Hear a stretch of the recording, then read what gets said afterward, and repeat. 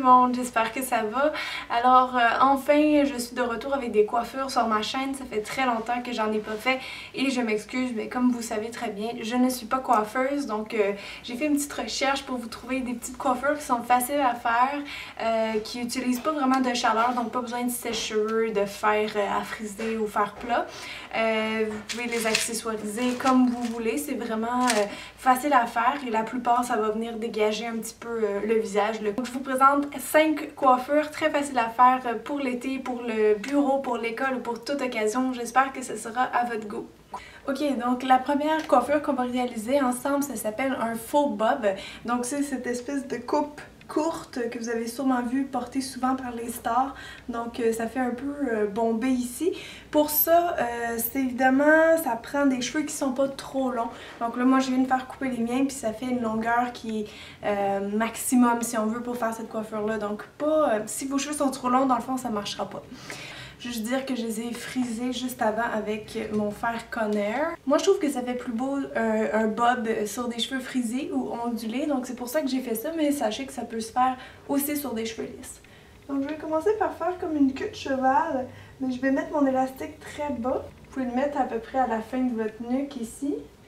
Et ensuite ce qu'on va faire c'est qu'on va venir cacher cette partie-là en dessous de notre tête. Donc ici, je rentre mes cheveux par en dessous et je vais venir les cacher carrément en dessous de l'élastique. Donc vous allez prendre des bob épines et on va commencer à sécuriser le tout en dessous. Bien cacher les bob épines, bien cacher la couette. Ça peut être un peu difficile à réaliser, mais c'est une question de, de pratique et de chance.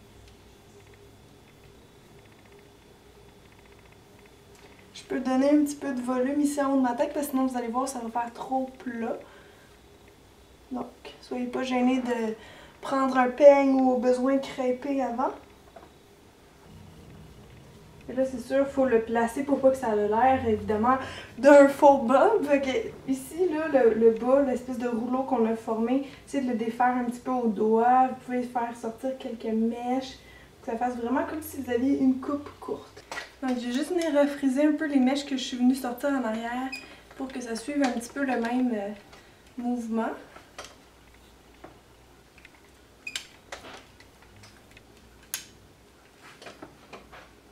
Donc vous pouvez continuer à le placer, euh, à le friser jusqu'à temps que vous l'aimiez. S'il manque de volume, comme je dis ici, on peut revenir un peu crêper quelques mèches pour que ce soit assez euh, uniforme si on veut. Donc c'est sûr, il y a plein de façons de faire un bob. Moi, je les aime bien comme ça, euh, un petit peu dépeigné, avec des mèches qui sortent, bon, frisées et tout. Euh, mais vous pourriez faire lisse aussi, donc n'oubliez euh, pas de mettre un peu de fixatif quand vous êtes satisfaite du résultat. Et donc, vous avez une façon de réaliser une coiffure courte.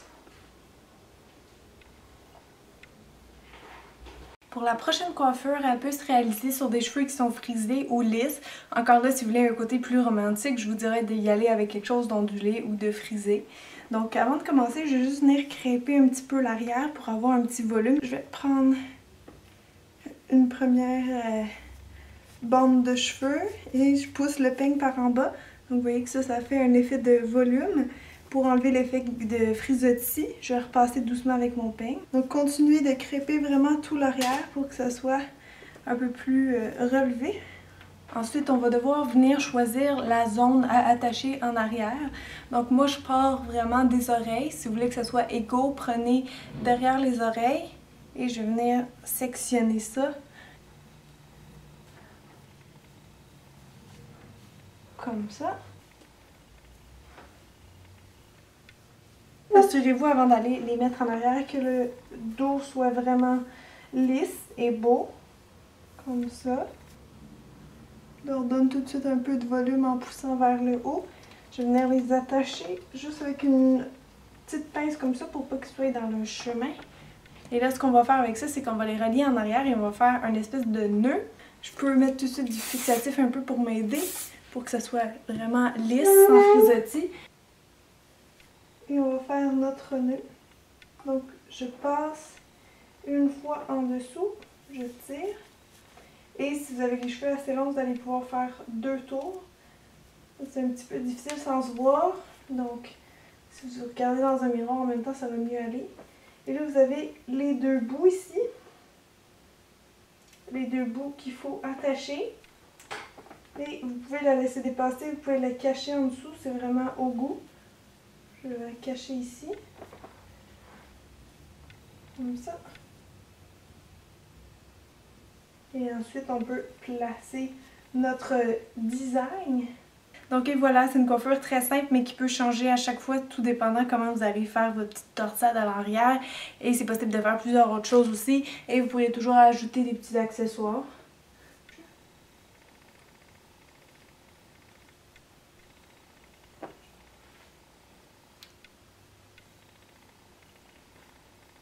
Ok, donc pour créer le chignon, il faut commencer par se faire une toque sur le haut de la tête qui est très haute. Peut-être que vous allez devoir euh, pencher votre tête en avant pour avoir vraiment tous les cheveux dans votre main. Ça aide, je trouve, à faire la, queue de cheval ou le chignon plus haut. Donc l'important, je pense que c'est que ici, ce soit vraiment lisse. Donc je vais faire ma couette vraiment à cette hauteur-ci le plus haut, c'est le mieux selon moi. Donc vraiment juste sur le dessus de ma tête ici. Et évidemment ma dernière loupe, je vais faire un petit chignon, la hauteur que vous voulez, la grosseur que vous voulez. Donc le chignon comme ça. Ensuite, je vais juste l'étirer un peu, commencer à le placer. Et vous allez voir, vous avez la fin ici qui c'est pas très beau à regarder. Donc ce que vous pouvez donc ce que vous pouvez faire, c'est de le cacher en dedans de la loupe. Je vais aller mettre mes doigts comme ça à l'intérieur. Et je vais venir le chercher comme ça. Et tout de suite, je vais aller prendre des bobby pins. Et je vais aller le piner à l'intérieur. Vous auriez pu aussi enrouler euh, la fin autour du chignon, c'est au goût. Moi, je préfère le cacher à l'intérieur. En même temps, ça donne un peu plus de, volume, de structure à notre chignon. Donc vous avez votre petite boule ici comme ça. Maintenant, ce qu'on veut faire, c'est le tirer un peu sur les côtés, s'assurer que sa forme soit belle, qu'il soit lisse. Et pour le fixer, vous allez prendre encore une fois des bobby pins et on va tout simplement prendre les côtés et aller les fixer ici sur notre tête. En prenant bien soin de cacher les bobby pins, évidemment, faire la même chose de l'autre côté. Ça va faire notre petit chignon rond. Donc prenez une bobby pin et hop, en dessous. S'il y a des petites mèches qui dépassent, moi je viens les rentrer ici. Et donc soyez sûr que votre chignon soit vraiment lisse avec le fixatif partout autour. Hop. Donc c'est ce qui complète votre petit chignon. Vous pouvez toujours ajouter des accessoires qui seraient euh, original, mignons.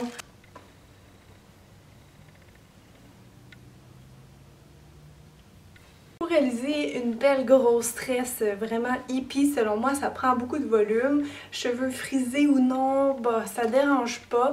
Moi, je préfère quand ils sont ondulés ou frisés parce que justement, ça donne du volume. Si vous en manquez, bien, soyez pas gênés d'aller crêper vos mèches. Ce que vous pouvez utiliser aussi pour faire beaucoup de volume aux racines, c'est la petite poudre comme ça. Ça existe maintenant dans plusieurs compagnies. C'est vraiment de la poudre voluminisante. Ça ressemble à un peu du talc.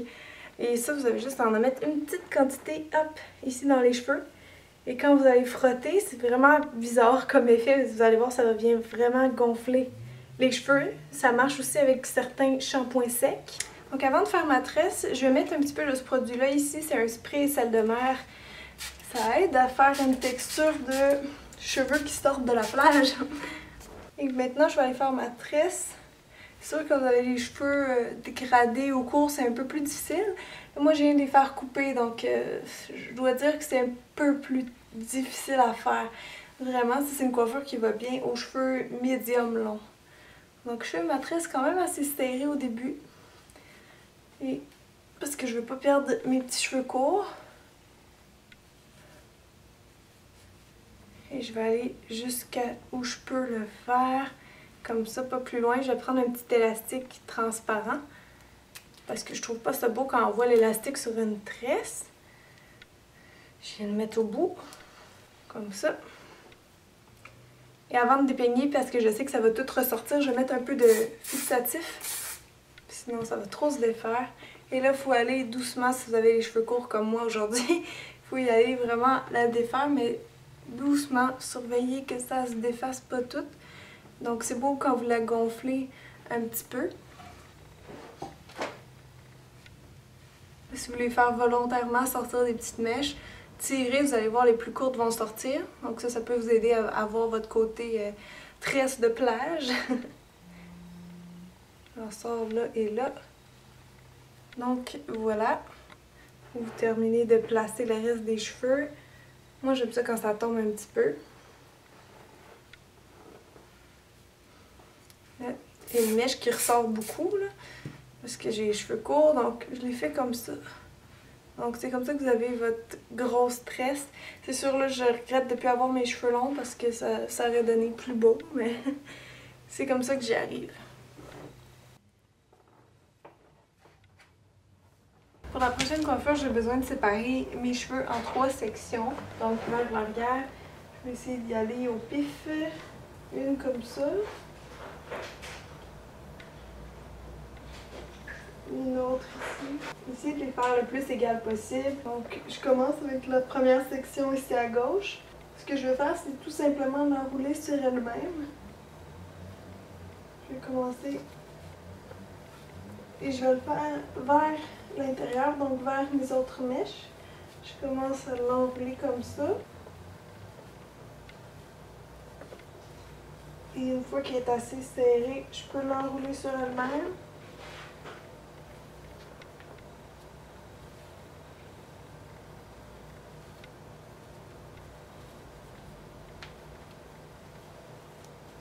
Petit chignon ici. Et je vais venir fixer ça avec des bobépines. Vous pouvez les mettre euh, croisés pour que le chignon tienne bien. Et maintenant, vous aurez compris, on va faire la même chose avec le milieu. Pour le sens, ça n'a pas vraiment d'importance. Je vais y aller encore dans la même direction.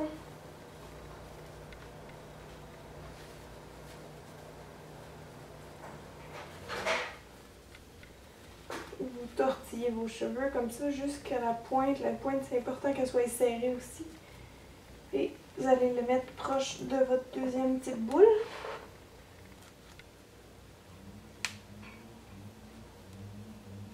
Et finalement, votre troisième section de cheveux qu'on va enrouler aussi à côté. Ce que je préfère aussi, c'est de l'enrouler autour des deux si je voudrais avoir un chignon sur le côté. Sinon, vous allez l'enrouler vers l'intérieur?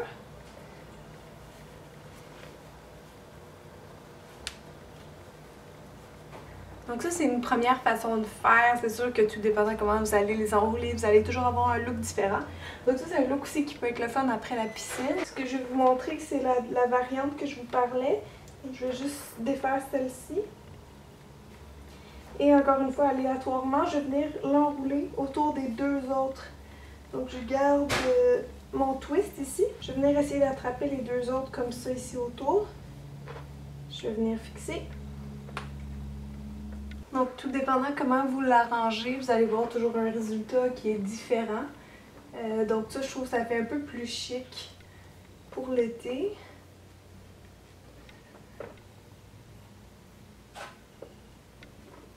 Donc voilà, c'est ce qui complète euh, nos 5 idées coiffures. J'espère que ça a été à votre goût. Si vous avez aimé, je vous invite à partager la vidéo. Je vous dis à très bientôt et merci de continuer à me regarder. Bye tout le monde!